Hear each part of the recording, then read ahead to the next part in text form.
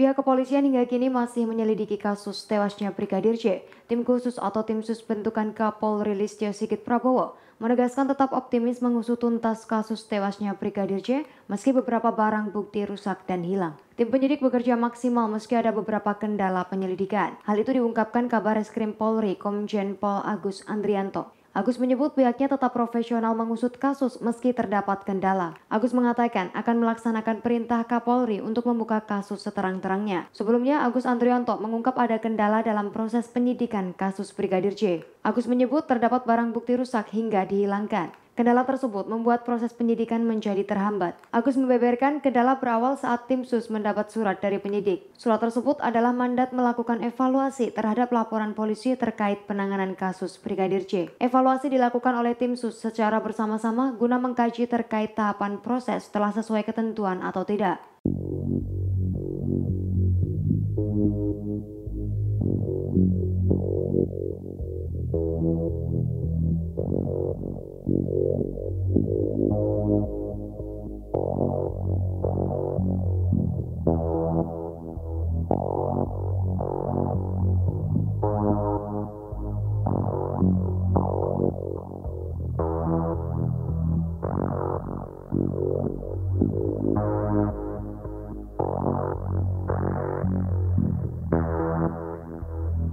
thank you.